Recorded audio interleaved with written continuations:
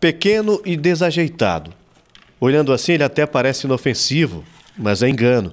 A picada de um escorpião pode ser fatal. E são comuns os acidentes com animais peçonhentos, principalmente nesta combinação de chuva e calor.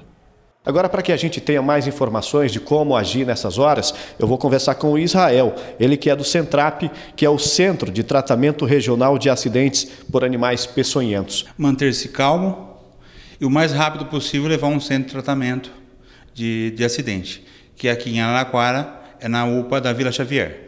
Agora, o tempo é muito importante para que esse tratamento tenha um resultado positivo? Quanto menor o tempo entre a picada e o atendimento, maior a eficácia do tratamento. A morte de uma criança de 4 anos picada por um escorpião esta semana na região de Rio Preto chama a atenção para os riscos de acidentes com animais peçonhentos. Agora, as mortes ocorrem geralmente com crianças mesmo abaixo dos 7 anos. Se você puder pegar essa criança, no caso de picada de escorpião, e levar o mais rápido possível, sem esperar o socorro, se tiver como levar por meios próprios, melhor ainda. Não fazer nenhum procedimento como garrotear o local da picada, sugar o local da picada, cortar o local, são procedimento, procedimento totalmente errado, procedimento que não deve ser realizado. O biólogo lembra que a nossa região já registrou mortes por esse tipo de envenenamento. Tivemos em 2008 e o ano passado também tivemos um caso de, de, de picado, também, que evoluiu para óbito. Qual é a espécie de escorpião mais comum que a gente encontra no Brasil?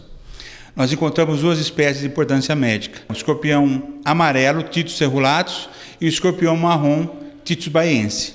Agora, quem tiver mais dúvida, pode procurar o Centrap de que forma? Nós temos o Face pode acessar o Central Araraquara e sempre estamos postando algumas, algumas novidades. O Centrap fica aqui na cidade de Araraquara. Eu volto com vocês aí nos estúdios do Painel Paulista.